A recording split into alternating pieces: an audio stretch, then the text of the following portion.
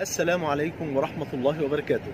بسم الله والحمد لله والصلاة والسلام على حبيبنا وأسوتنا وقدوتنا وشفاعنا رسول الله صلى الله عليه وآله وسلم. أولا في البداية لابد أن إحنا نحرص جميعا في العشر الأواخر من رمضان أن إحنا نحيي تلك الليالي بالقرآن وبالصلاة وبالذكر وبكل طاعة قلبية وبدنية نتقرب بها إلى الله سبحانه وتعالى. وقد كان النبي اللي هو أسوتنا وقدوتنا صلى الله عليه وسلم كان كما في الصحيحين إذا دخل العشر الأواخر من رمضان شد مئزره يعني كناية على الاجتهاد في الطاعة وأحيا ليله وأيقظ أهله. وده من باب قول النبي صلى الله عليه وسلم كلكم راع وكلكم مسؤول عن رعيته. ولكن أعظم عبادة بيغفل عنها كثير من الناس في تلك الليلة هي عبادة العفو يا جماعة. لأن أنت في ليلة القدر الدعاء بتقول يا اللهم إنك عفو تحب العفو فاعف عني. فلو عايز ربنا يعفو عنك اعفو أنت عن الناس. ولذلك قالت أمنا عائشة كما في عند الترمذي بسند صحيح قالت له يا رسول الله أرأيت إن علمت أي ليلة ليلة القدر ما أقول فيها. قال قولي اللهم إنك عفو تحب العفو